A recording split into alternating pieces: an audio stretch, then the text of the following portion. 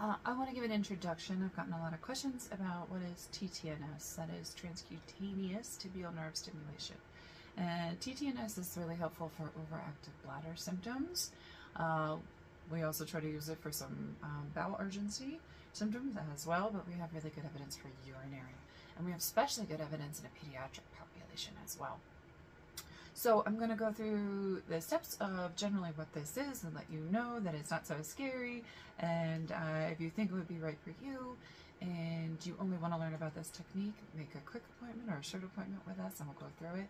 Uh, but we really recommend you use this as part of a program. So if you're having bladder symptoms, um, urgency, frequency, urge with leaking, uh, when you're rushing to a bathroom, this could be a really nice treatment for you. Doctors do PTNS, which is percutaneous, so they stick needles uh, where I'm going to put stickers or electrodes uh, and they also get really great results. So uh, if you were seeing a doctor for PTNS, you would do it once um, a week for usually 12 weeks and then as monthly maintenance. For some people, that's not really doable in terms of finances or appointments. Um, so this is a really nice way to accomplish this at home. Um, and these devices, there's a lot of them on the market, but I definitely have a favorite one. Um, ProTens, the Intensity, uh, they have a few different models, but theirs get enough power to um, do a great job. Not that it feels that intense, but I have worked with some that were uh, maybe $5 cheaper and we really couldn't make it work. So um, I'll describe what we're looking for as we do it and you can think about if this treatment would help you or, like I said, a child that might be having bladder leaking or urgency or going all the time. Uh, they can really benefit from this as well. Okay, I'm going to start by placing my electrodes. I'm going to place my first electrode up here. This is my black wire. And I'm really looking for a few finger widths above that middle ankle bone. Okay, that circular bone, and this is where I'm aiming for.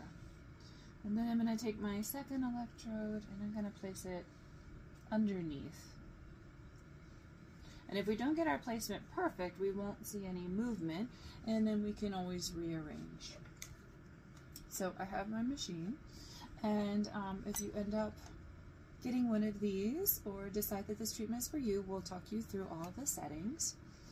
Uh, but this is on a tens setting and I'm using 20 hertz. Uh, you can use 10 or 20 with a 200 microsecond setting as well. So I'm going to go ahead and start turning this up.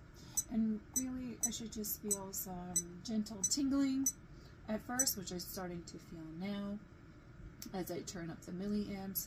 And what we're going to look is look at my big toe. So the nerve that uh, connects with the bladder is the tibial nerve. and the reason it can communicate with the bladder is it shares a nerve root. So if I want to make sure that I'm actually treating my bladder symptoms and not just placing tens and stimming my ankle, I need to see the action happen from that nerve. So I need to see my big toe curl. So if I continue to turn this up, we're actually going to stare at my toe. And if it starts to curl under, then I know I have the tibial nerve. And still, this is just a comfortable tingling sensation. And we're going to look and wait and see if my toe moves. My toe is starting to move downwards.